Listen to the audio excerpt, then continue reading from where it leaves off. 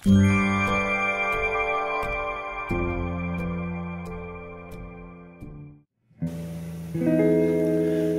I'm Sydney Smith, and you're in my studio in Halifax, Nova Scotia.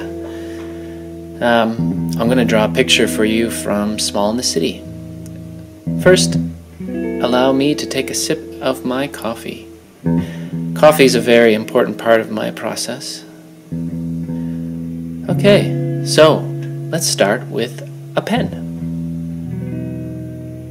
We're also going to need a paintbrush and a bigger paintbrush. And let's not forget paint. And that's it. Wait, that's not it. We are going to need some paper. I use some thick paper, and that allows me to put lots and lots of paint on the paper, and it won't buckle or uh, rip. Take another sip of coffee, and let's get this drawing started. Okay, so what are we going to draw? Small in the city, small in the city. You know what? I haven't worked on this book for over a year. Let's take a look at the book. Remind myself how it was I drew these pictures.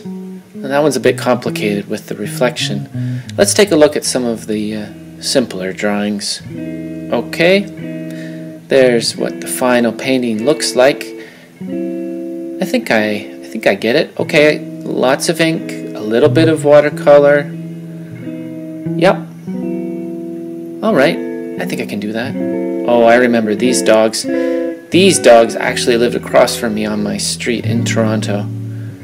Yep, and that's also my street in Toronto. Lots of big apartment buildings. This spread was the hardest one to make because I I did so many of these little paintings, these little panels, and I couldn't decide which ones to include in the book. I used that one. Um, I think I used that one. These were lots of paintings of shadows and reflections. It's one of the things I found about being in the middle of a city, downtown in a busy city. There's lots of windows, and those windows reflect all of the busyness, all of the traffic and the people. It made the city feel so much crazier. Yeah, knowing what to do is hard sometimes. Okay. So I think I think I get it. I think I remember how it was I drew these pictures. Let's just set the book up over here on the other side of the paper. Let's get started. Okay, let's start with the character. I always start drawing the character with the face, and if the face looks alright, then everything else will follow. I'm using a brush pen. So a brush pen uh, has a, an end that looks just like a brush. It's got bristles and it allows you to make really nice, big, beautiful lines or little tiny squiggly lines. I love drawing trees for this book because I, I enjoyed making the branches look like cat tails. And that's it. That's all I'm going to do for the ink for this part of the part of the painting. Next thing I'm going to use is this white crayon. So it doesn't look like much, but I'm going to draw in every place where I want there to be snow. I'm doing this before I paint with paint because the white crayon is wax. And when you paint over wax, the wax repels the watercolor paint and the, the paint doesn't stick to wherever you drew. Wherever you drew the snow. So the snow on top of the branches or the snowflakes in the air. Here I'm painting the buildings in the background.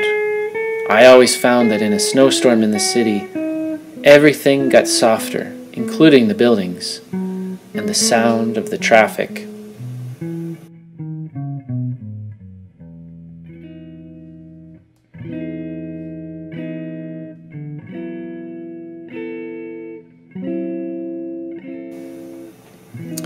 Now let's paint our character.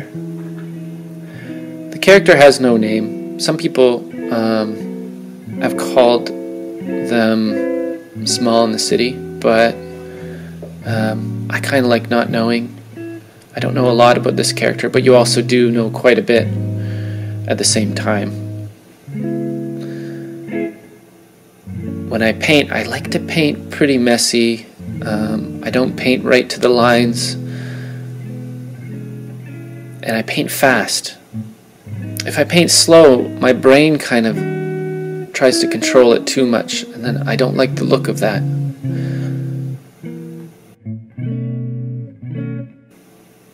Cherry on top. There we go. There's the character.